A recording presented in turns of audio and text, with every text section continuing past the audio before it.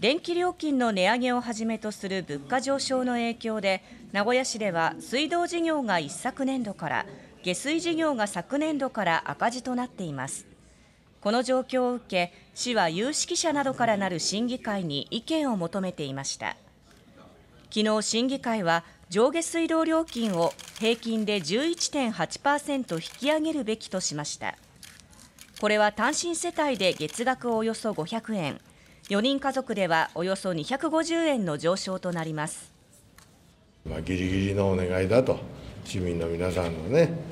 安全のために。値上げとなれば水道料金はおよそ29年ぶりで早ければ来年10月にも実施となる見込みです。どうも